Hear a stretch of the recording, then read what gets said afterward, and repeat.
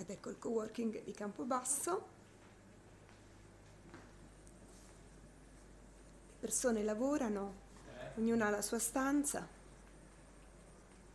Questa è una di loro, con postazione singola, altrimenti ci sono uffici destinati a lavori in gruppo. Gianluca, buongiorno.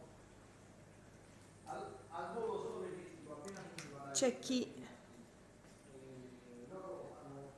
ha preferito portarsi il computer e approfittare di una 15 aprile farà in modo che non Postazione.